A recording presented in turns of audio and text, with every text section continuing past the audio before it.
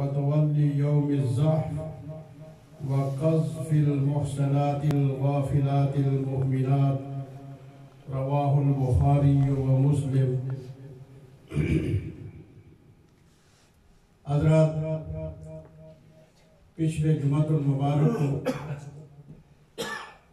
रसूल कायनात फ़ख्र मौजूदात शफ़ीउल मुज़लिमीन सल्लल्लाहु अलैहि वसल्लम की इतात और आपकी इत्तिबा के बारे में।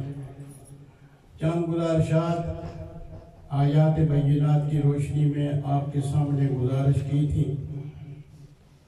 और आज उसी तसलसल सो कायम रखते हुए कि हजूर सल्लल्लाहु अलैहि वसल्लम ने अपनी उम्मत को नजात देने वाली चीज़ें भी गिन कर बताई और हलाक व तबाह बर्बाद करने वाली चीज़ें भी गिन कर बताई।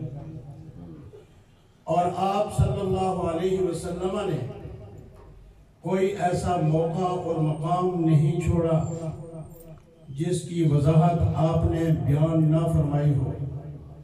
इंसान की तन्हाई की ज़िंदगी हो, बिल्कुल अकेला बैठा हुआ हो उसके अहकाम भी आपने बयान फरमाए। जब वो अपने बीवी बच्चों में बैठा हुआ हो तो उस मजलस के आदाब भी अल्लाह के रसूल सल्लल्लाहु अलैहि वसल्लम ने सिखाए और बताए। जब इंसान अपने खानदान में बैठा हुआ हो जिसको फैमिली मीटिंग कहते हैं, उसके आदाब और उसका तरीकाकार भी रसूलुल्लाह सल्लल्लाहु अलैहि वसल्लम ने बताया फिर कुरान करीम की आयात बैनात की रोशनी में ये चीज़ें जहन में हूँ तो फिर अगली बात इंशाअल्लाह समझ जल्दी आ जाएगी। फिर अल्लाह के रसूल सल्लल्लाहु अलैहि वसल्लम ने ये भी इरशाद फरमाया और इसमें कुरान करीम की आयात बैनात कई हैं जिनकी तशरी फरमाई। आपने फरमाया कि अगर तुम्हें अल्लाह ताला ने माल अता फरमाया है और तुम अच्छी हालत में हो अल्लाह ताला ने तुम्हें खुशहाली अता फरमाई। किसी का मोहताज नहीं रखा, तुम्हें अल्लाह ताला ने देने के काबिल बनाया। तो फिर देने का सिलसिला सबसे पहले अपने खानदान से शुरू करो कि भाइयों को, बहनों को और करीबी रिश्तेदारों को उम्मीद होती है कि हमारा फला आदमी उस पर अल्लाह ताला का करम है, उस पर अल्लाह ताला का फजल है। और वो हमारी मदद करेगा, हमसे हमदर्दी रखेगा। ये एक फितरती बात है। बाप को अपनी औलाद से बहुत तवक्कुआत होती है और औलाद को अपने बाप से बड़ी तवक्कुआत होती है। इसी तरह भाई को भाई से बड़ा प्यार होता है और इसको तो उलमा ने और सूफिया ने भी तस्लीम किया। तो मियाँ मोहम्मद साहब देखें, हमारे जो बुज़ुर्ग हैं, आज़ाद कश्मीर के वो कितना मवाद कितना इलम कुरान और हदीस का छोड़ कर गया। उन्होंने भी कहा है भैयाबाद मोहम्मद बख्शा।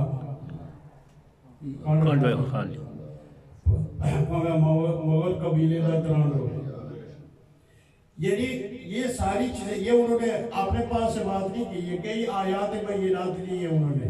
कितनी अहादीस का तर्जमा उन्होंने किया। तो ये इस सिलसिले को कायम रखते हुए हजूर सल्लल्लाहु अलैहि वसल्लम ने फरमाया, जब देने की बात आए तो अल्लाह का कुरान फरमाता है, कुल मा तो सबसे पहले माँ बाप की हालत को बेहतर करो, फिर अपने करीबी रिश्तेदारों से उस तकसीम को शुरू करो। वल यतामा वल मसाकिन, फिर यतीम और मस्किन। इस आया मुबारक में अल्लाह रबालमीन ने यतीम को, जबील कुर्बा के बाद रखा है।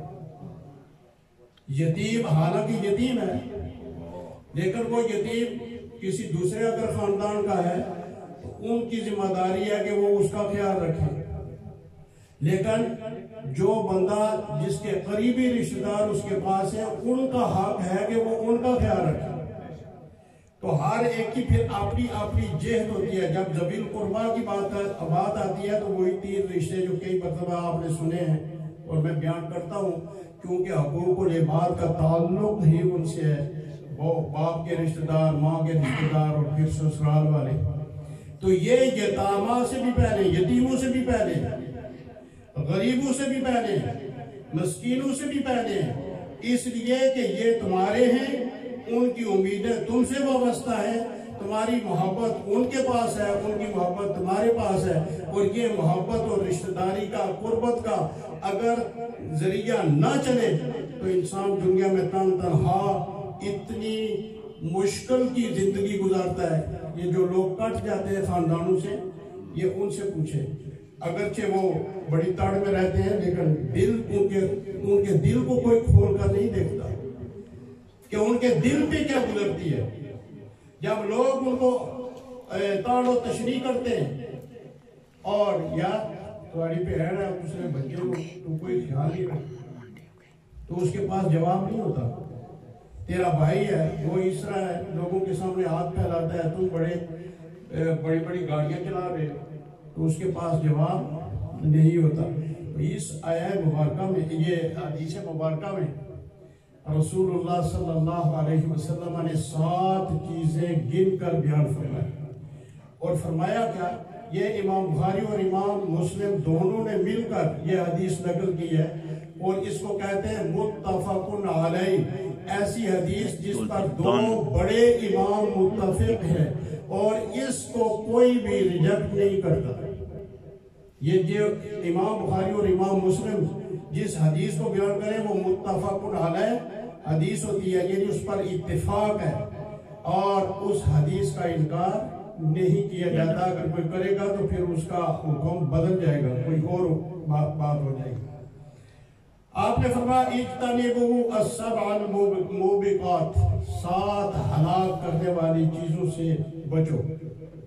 अब देखें किस तरह वार्निंग दी जा रही है और कितनी मोहब्बत से क्योंकि रसूलुल्लाह सल्लल्लाहु अलैहि वसल्लम अल्लाह ताला ने आपको रहमतुल्लिल आलमीन बनाकर भेजा। बेशक। और आपकी रहमत का तकाजा ये रहा कि जब भी आपने कोई आयत पढ़ी जिसमें अजाब है अजाब की बात है तो आपकी ज़ुबान से यही कलिमात निकलते अल्लाह उम्मती या अल्लाह मेरी उम्मत को इस अजाब से बचा अब उम्मत अपने नबी की बातों का ख्याल रखे या न रखे लेकिन नबी सल्लल्लाहु अलैहि वसल्लम ने उस रहमत का सदका जो अल्लाह ताला ने उनको अता फरमाई और आपको रहमतुल्लामीन बनाकर भेजा। आपने अपनी उम्मत को किसी भी मौके पर फरामोश नहीं किया। आपने अपनी उम्मत को हर लम्हा याद और फिर ये सात चीज़ें फरमाई ये ये चीज़ें तुम्हारे लिए हलाकत है। ये तुम्हें जानने में ले जाने वाली है। ये तुम्हारे ईमान को दया करने वाली है। ये तुम्हारी बर्बादी और हलाकत का सबब बनने वाली है। लिहाजा इजताने वो, इनसे तुम इजतनाब करो, इनसे बचो और इनके करीब न जाओ। माहुन या रसूल अल्लाह ये साहबा का एक तरीकाकार था। जब हजूर सल्लल्लाहु अलैहि वसल्लम कोई बात बड़ी अहमियत से बयान फरमाते तो वो पूछते, या रसूलुल्लाह, ये क्या है? तो साहबा कराम ने इस हदीस के बारे में भी पूछा, या वो सात चीज़ें कौन सी हैं जिनसे हमने बचना है, जो हमारी हलाकत का सबब और ज़रिया है? तो हजूर सल्लल्लाहु अलैहि वसल्लम ने फरमाया अशिरक बिल्लाह। सबसे पहले अल्लाह ताला की ज़ात के साथ किसी को शरीक ठहराना, ये शिरक है और ये सबसे पहली चीज़ है जो इंसान को हलाक, तबाह बर्बाद करती है। इसकी अगर तशरी जो मुहदसिन है, जिन्होंने हदीस की तशरी की है, जो सूफिया है, उन्होंने ये भी लिखा कि शिरक की जो बड़ी किस्मों के अलावा अदना किस्में हैं, किस्म होती है ना, एक बड़ी आराम फिर मकरू फिर मकरू तारीमी, फिर नाजायज़, फिर नापसंदीदा, ये सारी किस्में हैं। तो बाज मुहदसिन ने फरमाया कि आज शेर को बिल्ला का यानी शेर किस किस चीज़ में होता है? ये नहीं है कि एक पत्थर को रखो और कहो कि ये मेरा खुदा है। ये तो पतले दर्जे की पतले दर्जे का शेर है। लेकिन इससे कम जो मुसलमानों के अंदर जो चीज़ें पाई जाती है यानी ये आ, आ, आप सुनेंगे तो पता चलेगा कि उनको भी शिरक कहा गया है। उनमें अल्लाह ताला का हुक्म ना मानो बंदे का हुक्म मानो। ये भी शिरक इस तरह हयाल सलाह सलाह अजान देगी अजान की आवाज़ भी पहुँच गई। और बंदे को फिर किसी और काम में वो लगा किसी ने कहा कि यार नहीं, ये कर रहा है, वो छोड़ना है। नमाज़ उसने छोड़ दी, बंदे के हुक्म को उसने मान लिया। ये शेर के खफी है।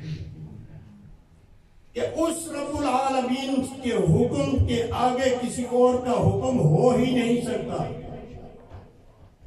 पता है कि माँ बाप वो अल्लाह तबारक वाली ने फरमाया कि अगर वो बीमार हो और बंदा अकेला है घर में और उन्होंने नमाज़ पढ़ते हुए उसको आवाज़ दी तो चूँकि नमाज़ के वक्त में तोसी है तो वो उनकी आवाज़ पर लबैक तो कहे, लेकिन फिर फ़ौरन उस नमाज़ को उस वक्त में पढ़े।